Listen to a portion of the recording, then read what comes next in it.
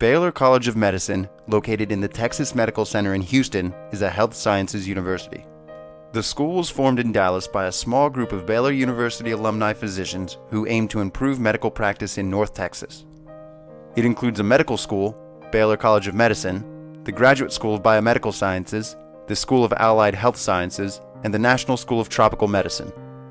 The medical school has been consistently considered in the top tier of programs in the country and is particularly noted for having the lowest tuition among all private medical schools in the U.S.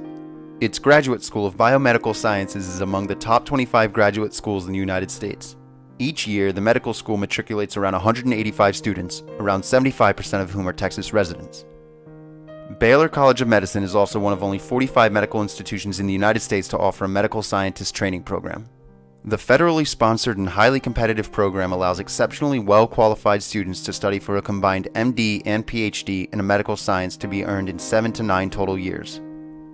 Typically, 8 to 12 students matriculate into this program per year and receive free tuition in addition to a stipend of $29,000 per academic year.